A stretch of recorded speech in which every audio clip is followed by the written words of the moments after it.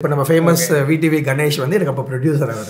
Okay அவர் தான் அவர் தான் இந்த ப்ரொடியூசர் சார் இந்த மாதிரி சார்ட்ட நான் சொல்லியிருக்கேன் இந்த லைட்டு வரணும்னு. அவங்க என்ன சார் ஏதோ டியூப் லைட் ஏதோ கேட்குறேன் அப்படின்னு என்ன லைட் அவங்களாம் கணக்கு போட்டு பார்த்தா ஒரு three three point five lakhs ஆகுது பர் டே ரெண்டல் அப் அதெல்லாம் சான்ஸ் என்ன? விளையாடுறியா? உன்னை வந்து ஃபஸ்ட் படம் சான்ஸ் கொடுத்தா இவ்வளோ இப்படிலாம் பண்ணுவீங்க அதெல்லாம் கிடையாது அதெல்லாம் கொடுக்க முடியாதுன்னு சொல்லிட்டாங்க. ஸோ சார் அந்த டே ஷூட் முடிஞ்சு நாளைக்கு என்ன பண்ணுறோம் அப்படின்னு கேட்டார். இந்த மாதிரி நாளைக்கு நைட் ஷூட் இன்டர்வல் முடிஞ்சு அந்த சீன் பண்ண போகிறோம் ஆ ஓகே ஓகே சூப்பர் அப்படின்னு சொல்லிட்டு போறாரு போயிட்டு திரும்பி கேட்டார். நீங்கள் ஒரு லைட் ஒன்று கேட்டிங்களா? அப்போ நம்ம சென்னையில் அது வந்துருச்சா? அப்படின்னு கேட்டார்.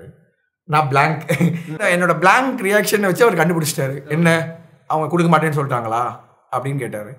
அப்படி அங்கேருந்தே கத்தியே சொன்னார். நாளைக்கு அந்த லைட்டு வராதுல்ல? ஆமாம் சார் ட்ராவல் கன்ஃபார்மாக வராது. ஒன்று பண்ணலாம். நாளைக்கு ஷூட்டிங் கேன்சல் நான் சென்னைக்கு போகிறேன் எப்போ லைட்டு வருதோ சொல்லுங்கள் நான் வரேன்னு சொல்லிட்டு அவர் கிளம்பி சென்னை ஃப்ளைட்டு பிடிச்சி கிளம்பி போயிட்டாரு.